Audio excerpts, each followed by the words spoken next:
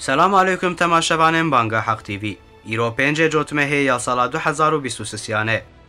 آیتا روژه اگر قنجیک بگهیجه و وان غمگین دکه لی خرابیک به سری و او پیش را دبن اگر هون صبر بکن و لهمبری الله جبه ادبی خو بپارزن دیکو دولابن وان تو زرار نادن و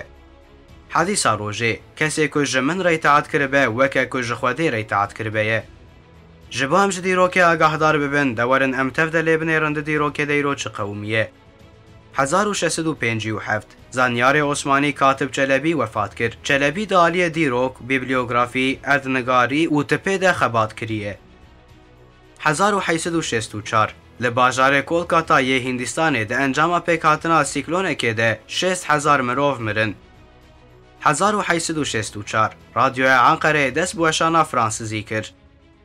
1908 بولغارستان خو وک دولت کې سر بخو اعلان کړ 1915 بولغارستان تولی شر جهان یکم بو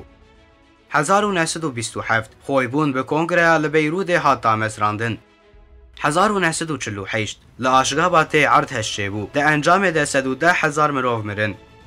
1953 ترکیه بو اندام کنسه اولکاریا یا نتوین یک بویی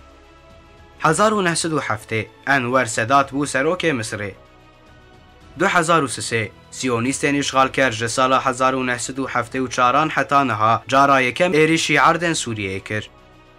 2014 پشتی پفچونن به شدت آل کوبانه دایش کت ناو باشیر پشتی پفچونن کل کوبانه هات کرن به هزاران سویل خوش ترکیه رسپارتن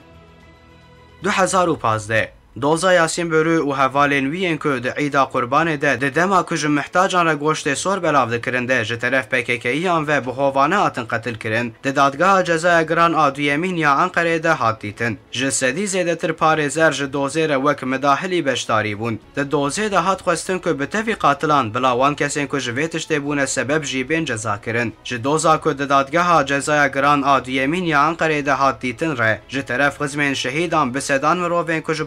ժդահատն է Temsilkaren partiyen siyasi, rexistin sivil û rexistina navneteveyî ya Efûyê hat şopandin.